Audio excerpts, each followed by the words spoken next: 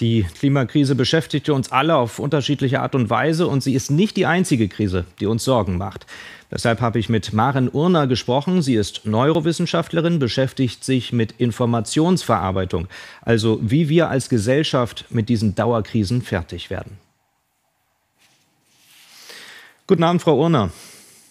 Guten Abend. Eine Nachricht wie die heutige, dass der Klimawandel womöglich viel schneller kommt als gedacht, die kann doch nur Angst und Sorgen machen, oder? Auf jeden Fall. Und das ist auch gut so, denn tatsächlich beobachten wir gerade mit Blick auf die Klimakrise, dass wir weltweit uns da eigentlich zu wenig Angst und Sorgen machen, weil wir uns häufig mit anderen Dingen ablenken. Die Frage ist halt, ob wir dann daraus Kraft und Neugier schöpfen, um über Lösungen nachzudenken und auch entsprechend zu handeln wo Sie Lösungen erwähnen. Ein Satz, den Sie gerne zitieren, ist, das Reden über Probleme schafft Probleme, das Reden über Lösungen schafft Lösungen. Lösungen klingen gut und positiv, aber beim Klimawandel, gerade beim Klimawandel hören wir immer, es geht nicht ohne Verzicht. Das passt doch nicht zusammen, oder? Das ist tatsächlich eine der Kernherausforderungen, gerade mit Blick auf die Klimakrise, dass wir zu sehr in einer Verzichtsdiskussion beziehungsweise in Narrativen verharren, die sich ganz, ganz stark auf das Wogegen sind wir eigentlich konzentrieren. Also immer zu schauen, was verlieren wir dann, was verändert sich dann. Und das ist etwas, was das Gehirn überhaupt nicht gut findet, weil wir halt in so einen Modus, der durch Abwehrhaltung und der durch Angst bestimmt wird, gelangen. Und was wir stattdessen machen müssten, oder wenn wir unser Gehirn besser nutzen wollen, ist häufiger und immer wieder nach dem Wofür zu fragen. Also was gewinnen wir eigentlich? Was bekommen wir dazu? Und das sorgt dann automatisch dafür, dass wir in unserem Gehirn andere Regionen und auch andere Fähigkeiten und damit Kapazitäten freisetzen, weil wir uns eben vorstellen müssen, wie wir in Zukunft leben möchten und damit nicht nur unsere Neugier, sondern eben auch das, was tatsächlich den Menschen von allen anderen Spezies auf diesem Planeten unterscheidet, nämlich unsere Vorstellungskraft nutzen müssen. Und das wiederum findet unser Gehirn und damit unser Körper tatsächlich auch gut. Also unser Belohnungssystem wird gleichzeitig mit aktiviert. Und nun sind diese Krisen aber ja sehr unterschiedlich. Die Klimakrise zum einen, aber wenn wir auf den Krieg schauen, da fehlt uns allen sicherlich die Fantasie, wie wir wirklich positiv Lösungen vorschlagen können. Menschen sterben in der Ukraine und bei uns werden Energie, Lebensmittel teurer.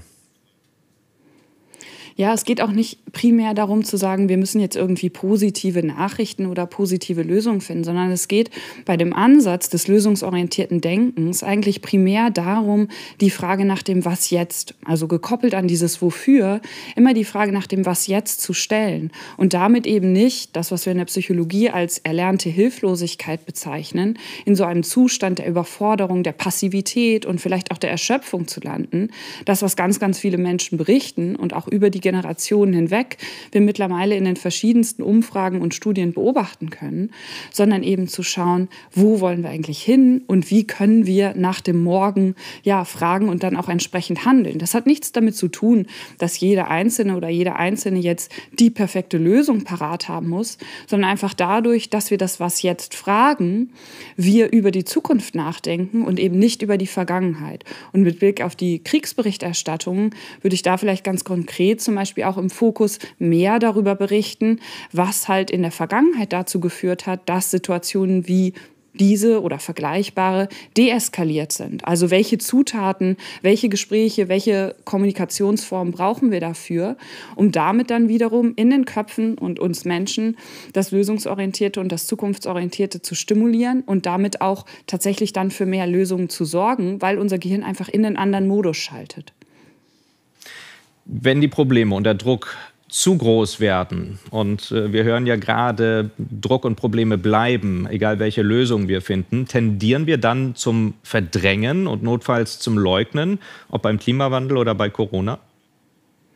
Ja, da ist tatsächlich eine ganz, ganz wichtige Erkenntnis, die häufig von Wissenschaftlerinnen und Wissenschaftlern zu nachteilig beziehungsweise nicht genug beachtet wird, dass wir eben nicht einfach aufgrund von Fakten unsere Meinung, Überzeugung und Werte verändern.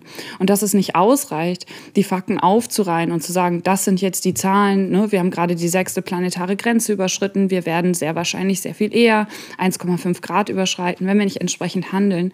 Das allein reicht nicht aus, um Menschen Menschen davon zu überzeugen, dass das tatsächlich der Fall ist und dann viel wichtiger natürlich auch entsprechend zu handeln.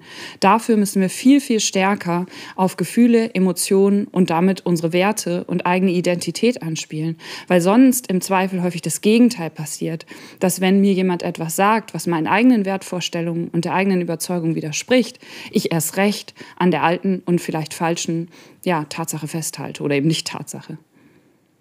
Danke an die Neurowissenschaftlerin Maren Urner für diese Sicht auf unseren Umgang mit Krisen. Sehr gern.